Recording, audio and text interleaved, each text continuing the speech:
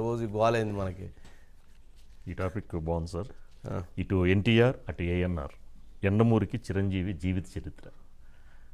వైజాగ్లో జరిగిన ప్రోగ్రాంలో చిరంజీవిని ఆహ్వానించారని. ఆయన మాట్లాడుతూ ఆయన యొక్క ఆటోబయోగ్రఫీ మొత్తం రాయడానికి ఎండమూరికి అవకాశం ఇచ్చారండి. గ్రీన్ సిగ్నల్ ఇచ్చారు చిరంజీవి గారు. ఎండమూరికి. కానీ ఒక పక్క నాగబాబు గారు విమర్శిస్తూ ఉంటారు ఎండమూరిని కొన్ని అంశాల్లో. విమర్శించకపోతే ఆలోచించాలి విమర్శించ విమర్శ అనేది సహజం. రాజకీయాల్లో ఉన్నా మీడియాలో ఉన్నా లేదా సినిమా ఇండస్ట్రీలో ఉన్నా కూడా విమర్శ సహజం. ఇప్పుడు ఓం ప్రకాష్ గారు కొంచెం సూక్ష్మంగా చెప్పారు. ఆ సినిమాలో ఆ డిమిత్రి కన్ఫర్మ్ అయిపోయింది సీరియల్ అవుట్ అని చెప్పని చెబుతున్నారు.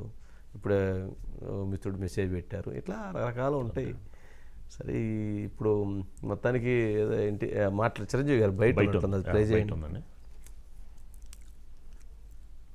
బ్రదర్ మీరు బాగా అభివృద్ధిలోకి వస్తున్నారు.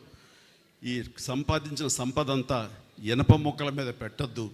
ఏదైనా మంచి హౌస్ కట్టుకోండి ఆ తర్వాత స్థలాల మీద పెట్టండి. మనల్ని కాపాడేది అదే. మనం ఎక్కువ కాలం ఇక్కడ ఇలాగే ఉంటాము ఇదే సూపర్ స్టార్ డమ్తో ఉంటాము. ఇది శాశ్వతం అని మాత్రం అనుకోకండి అని ఎంతో జ్ఞానంతో ఎంతో జాగ్రత్తతోటి ముందు ముందస్తు చూపుతోటి ఆయన ఇచ్చిన సలహా అంతా ఇంత కాదు.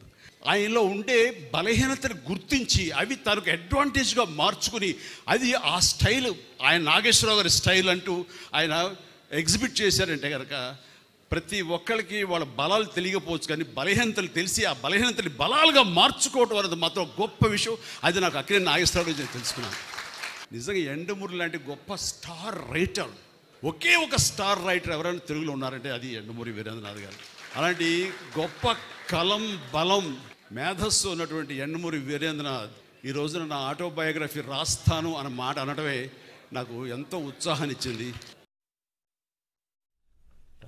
ఆయన సినిమా టైప్లో రాస్తా బాగా బాగా బాగా మాట్లాడారు. చిరంజీవి గారు అప్పుడప్పుడు చాలా బాగా మాట్లాడతారు.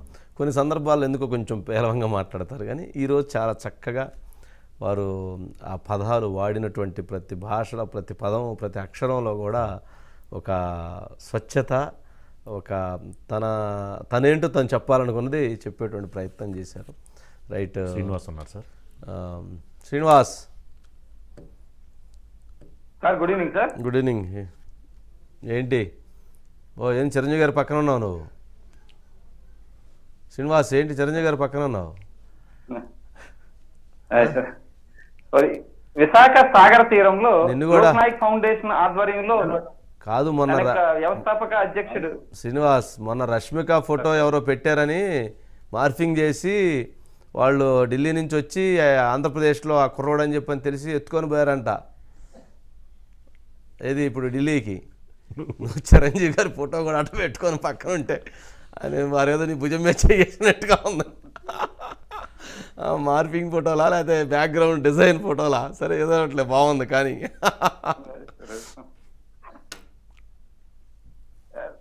విశాఖ సాగర్ తీరాన లోక్నాయక్ ఫౌండేషన్ ఆధ్వర్యంలో అంటే యార్లగడ్డ లక్ష్మీ ప్రసాద్ గారు అది జీవిత జీవిత సాఫల్య పురస్కారాలు కొన్ని ఏర్పాటు చేసి అంటే ఎన్టీఆర్ ఇరవై ఎనిమిదో వర్ధంతి ఏఎన్ఆర్ శత జయంతి ఉత్సవాలు. ఈ రెండింటిని యాడ్ చేసి మిక్స్ చేసే కార్యక్రమాన్ని ఏర్పాటు చేశారు సార్. ఎవరైతే ఆ అవార్డు గ్రహీతలు ఉన్నారో వాళ్ళందరికీ అవార్డులు ఇచ్చేందుకు ప్రధానంగా చిరంజీవి గారిని ఆహ్వానించడం జరిగింది. అయితే చిరంజీవి గారు ఈ రోజు ఒక ప్రముఖమైన బాధ్యతని ఎండమూరి వీరేంద్రనాథ్ గారు అంటే ఎండమూరి వీరేంద్రనాథ్ గారికి ఈ రోజు సాఫల్య పురస్కారం ఇచ్చారు. ఆయనకు ఒక బాధ్యత ఎండమూరి వీరేంద్రనాథ్ మీ బయోపిక్ నేను రాస్తాను అనగానే చిరంజీవి గారు అసలు అంటే ఒక ఒకంత ఒక క్షణం ఆలోచించి వెంటనే సరే అని రాయమని చెప్పారు సార్. ప్రధానంగా చూసుకుంటే ఒక బయోపిక్ బయోపిక్ రాయడానికి ఒకరికి అవకాశం ఇవ్వాలంటే ఆ కొంత ఎంతో మంచి మనసు ఉండాలి కొన్ని గట్స్ ఉండాలి అదంతా ఈజీ కాదు సార్. చిరంజీవి గారు పంతొమ్మిది వందల యాభై ఐదులో పుట్టిన నాటి నుంచి ఎక్కడ ఆయన మొగల్తూరులో అమ్మమ్మ ఇంట్లో పుట్టారో అక్కడ నుంచి టిల్ టుడే ఈ రోజు వరకు రాయాలి ఆయన డిజాస్టర్స్ రాయాలి ఆయన ఫెయిల్యూర్స్ రాయాలి ఆయన సక్సెస్ రాయాలి ఆ పిల్లల పెళ్ళిళ్ళు రాయాలి చాలా ఉంటుంది సార్ ఇందులో. అతి అనువనువు కొన్ని టైంలో అయితే ఆయనకి రిక్షా ఓడు బిగ్ బాస్ టైంలో కొంత డిజాస్టర్ జరిగి తర్వాత హిట్లర్ తర్వాత సక్సెస్ స్టోరీ వచ్చింది. ప్రతి అణువణువుని రాసుకోవాలి. అలాగే కుటుంబ బాధ్యతలు ఎలా నెరవేర్చారు? ఆటుపోట్లు ఎలా తట్టుకున్నారు? దాని యొక్క ప్రతి అంశాన్ని తెలియాలి అంటే ఆయన ఏ కాలేజ్ చదివారు? కాలేజీలో ఆయన ఫ్రెండ్స్ ఎలాంటి వాళ్ళు? స్కూల్ ఏజ్లో ఆయన పరిస్థితులు ఏంటి? కుటుంబ నేపథ్యం ఏంటి? ఆర్థిక పరిస్థితులు ఏంటి? హైదరాబాద్ హై- అదే సారీ మొగల్తూరు నుంచి మద్రాస్కి ఎలా వెళ్ళారు? ఇలా అనేక అంశాలు క్రోడీకరించి ప్రతిదీ నిజాన్నే రాస్తూ ఉండాలి. అందులో బయోపిక్ అనేసరికి ఎలాంటి తప్పు రాయకూడదు. చాలా అంటే అది సొంత వ్యక్తి ఎవరైతే ఎవరు బయోపిక్ వాళ్ళే రాసుకుంటేనే దానికి ఒక ఉన్నతి గౌరవం. కానీ అలాంటి బయోపిక్ని కూడా ఎండమూరి వీరేంద్రనాథ్ గారిని రాయమని చెప్పే అవకాశాన్ని కల్పించడం అంటే ఈయన యొక్క సున్నిత మనస్తత్వం ఈయన ఒక మొహమాటతత్వం అంటే గర్వాన్ని గుమ్మం బయట వదిలేయడం ఎంత ఎత్తుకు ఎదిగినా ఒదిగి ఉండడం అలాంటి సలక్షణాలు అన్ని ఉన్నాయి. అలాగే ఎదిగిన తర్వాత ఇరవై ఏళ్ళ తర్వాత ఈయన బ్లడ్ బ్యాంకు ఐ బ్యాంకు పెట్టడం జరిగింది. దాని ద్వారా ఎలాంటి సేవా కార్యక్రమాలు అందించారో తెలియజేయాలి. అలాగే పార్టీని తీసుకొచ్చే రెండు వేల ఎనిమిదిలో ప్రజారాజ్యం పార్టీని స్థాపించి ఎలా ఫెయిల్ అయ్యారు తర్వాత ఎన్ని ఇబ్బందులు పడ్డారు తర్వాత మళ్ళీ రెనైజెన్స్ రెండు వేల పదిహేడులో ఖైదీ నెంబర్ వన్ ఫిఫ్టీ సినిమాని తీసుకొచ్చి ఆ సినిమా ద్వారా మళ్ళీ వాళ్ళ ప్రేక్షకులకి వాళ్ళ అభిమానులకి ఎలా చేరువయ్యారు ప్రజెంట్ అదే ఎలా కొనసాగిస్తున్నారు నట జీవితాన్ని ప్రజారాజ్యం పార్టీ పెట్టినప్పుడు రాజకీయ జీవితాన్ని ఎలా ప్యారలల్గా సమకాలికంగా చూసుకోలేకపోయారు? ఎందుకు డిజాస్టర్ ఏర్పడింది? ఇలా అనేక అంశాలు ముడిపడి ఆయన జీవితంలో ఉన్నాయి సార్. ఆటుపోట్లు ఎత్తుపల్లాలు సక్సెస్ ఫెయిల్యూర్స్ అలాగే ఒక మెగాస్టార్ లాంటి స్థాయి ఇచ్చిన స్థాయి రావడం ఈజీయే కానీ ఆ స్థాయిని కంటిన్యూ నిలబెట్టుకోవడం చాలా కష్టం. ఆ నిలబెట్టుకున్న అంశాలు కూడా ఆయన మనోవేదనగా నేను మనసులో మాత్రం ఉంటే ఆయన మాత్రమే రాసుకోగలరు. అలాంటి విషయాలన్నింటినీ కూడా ఎండమూరి వీరేంద్రనాథ్ గారిని రాయమని చెప్పడం కూడా ఎప్రిషియేషన్ సార్. టోటల్గా ఈ రోజు మాత్రం చిరంజీవి జీవిత చరిత్రని ఎండమూరి వీరేంద్రనాథ్ రాయమని మాత్రం చెప్పడాన్ని అక్కడ ఆయన పూర్తిగా చెప్పారు. ఒక అభిలాష్గా okay. Next okay right Srinivas మొత్తానికి చిరంజీవి గారు పక్కన ఉన్నట్లున్నారు ఆపేసినట్లున్నారు. ఎందుకంటే ఎక్కువ చేస్తే బాగుండదని.